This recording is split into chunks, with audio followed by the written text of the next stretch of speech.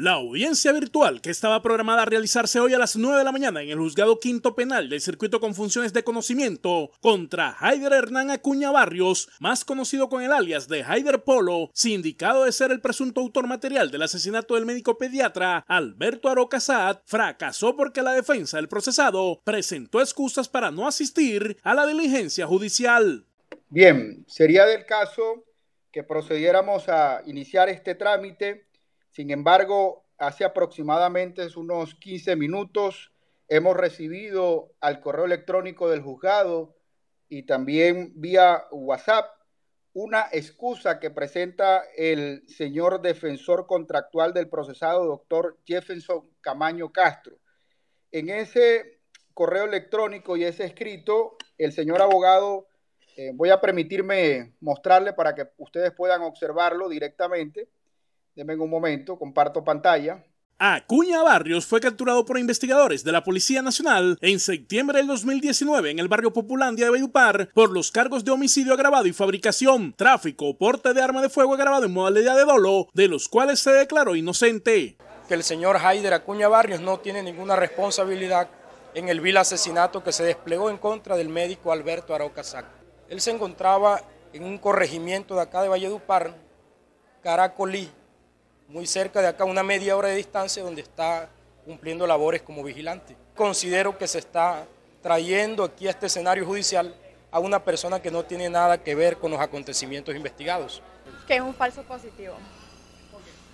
¿Por qué? Porque en las horas del que se hizo el atentado de ese señor, que a la, cual desconozco, que no conocía, me vengo a enterar de ayer quién es la persona, pensé que era un muchacho y vamos a ver que es un señor de edad.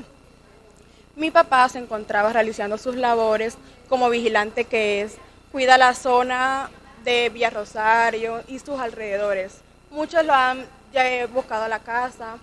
Cuando este, hacen atraco, lo llaman a él para que hable con los rateros, este, entreguen las cosas que han robado y ya no pasa nada. De pronto que él tenga muchos antecedentes, sí, ok, eso fue en el pasado, ahora estamos en el presente. Hay que darse cuenta el cambio que tienen las personas. Sé que todos cometemos errores, gracias a Dios, Dios le dio una oportunidad. Ahora es otra persona. Aunque muchos no lo crean, por, ajá, por todos tus antecedentes tienen razones de pensar como quieran.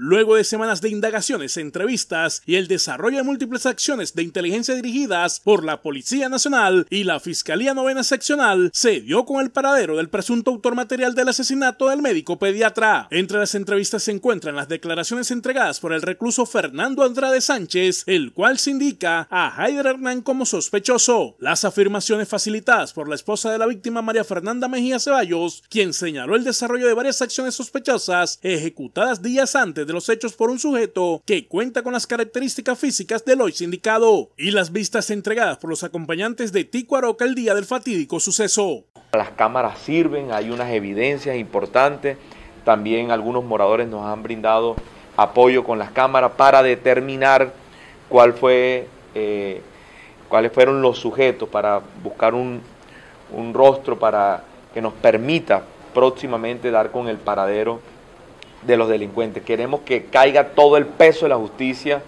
sobre estos autores materiales e intelectuales. El crimen del reconocido médico pediatra Alberto Tico Aroca, de 61 años, conmocionó el departamento del Cesar y fue rechazado por la comunidad en general, que desarrolló caminatas y llamados a las autoridades, toda vez que este era reconocido en la región por su labor como médico pediatra durante 31 años. Además, Tico Aroca era socio de la clínica Valledupar, propietario de estaciones de gasolina en el departamento y vicepresidente del Valledupar Fútbol Club. Aroca fue asesinado mientras realizaba ejercicios físicos en la carrera cuarta de la capital del Cesar el 20 de agosto del 2019, donde según el informe de la Policía Judicial, el reconocido pediatra fue sorprendido por dos sujetos, uno de ellos le preguntó el nombre y luego de que el médico respondiera le disparó en la cabeza. Pese a que las autoridades lograron con la ubicación del presunto autor material, se desconoce quién o quiénes están detrás de este hecho violento.